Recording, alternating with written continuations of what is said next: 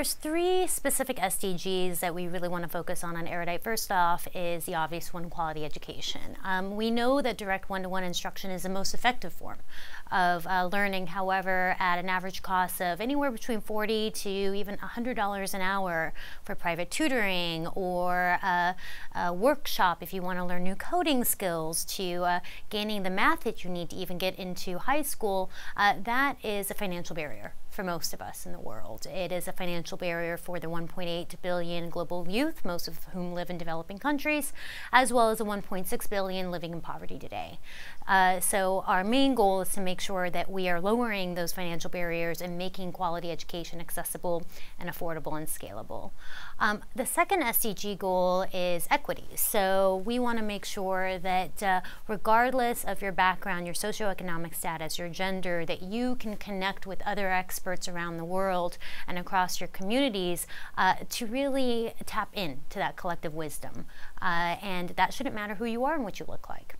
And then third SDG that we really focus on at Erudite is that of decent work. So we believe that by uh, cultivating this expert network for you, that not only will you gain academic growth, but access to meaningful work and to increase your earning power that will in turn result in economic mobility for communities.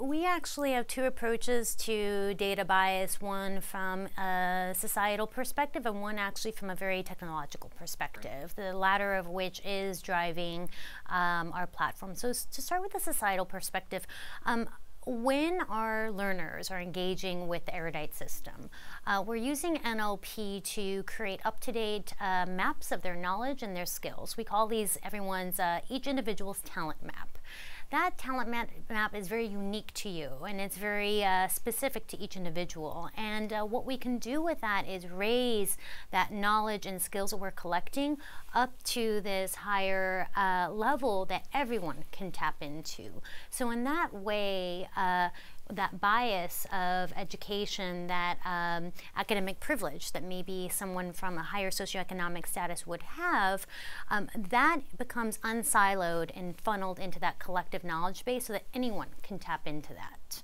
And so that's very important. And how this transforms is that when we do identify experts for you as a learner, often that collaboration in other systems is not scaffolded properly. So the expert and the learner are left alone together, and then what happens next?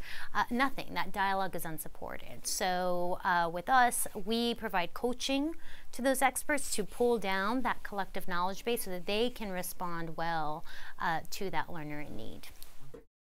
Now we do have an approach to bi data bias from a technology perspective, and that is actually we do uh, want our NLG to be high biased, and the reason why is that we want those platinum nuggets of knowledge to be scaled to others, and so we do need to have a biased approach to identifying what silver, gold, and platinum, so that we can ensure that if you do have a question as a learner, if you have knowledge gains that need to be filled, that we're filling those with high quality instruction. what do you think the value of this sort of convening? Um, for Erudite, the big value is knowledge sharing. So we are a knowledge sharing company, and so we want to make sure that we're embedding that mission within every uh, fiber of our organization, and that is to make sure that we're participating in uh, congregations like this um, to be able to meet other companies across the AI industry who are working on similar pressing challenges. For example, healthcare is actually very relevant to us as an education and learning company because you can imagine both fragmented markets. Uh, the buyer is rarely ever the user. And so we learn quite a bit in terms of how AI is supporting healthcare and how we can translate that to other industries like our own, which we're tackling like uh, learning and education.